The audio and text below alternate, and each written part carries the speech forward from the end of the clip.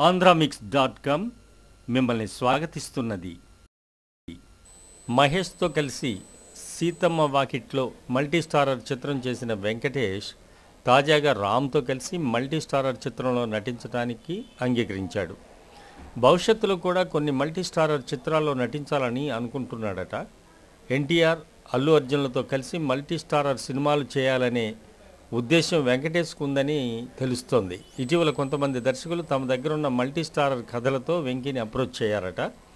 వారందరికీ ఎన్టీఆర్ అల్లు అర్జున్ పేర్లు చెప్పి వారికి కూడా కథ నచ్చితే చెప్పండి కథ నచ్చి వారు అంగీకరిస్తే ఖచ్చితంగా వారితో కలిసి మల్టీ స్టారర్ సినిమాలో నటించడానికి నాకేమీ అభ్యంతరం లేదు అని అన్నాడట.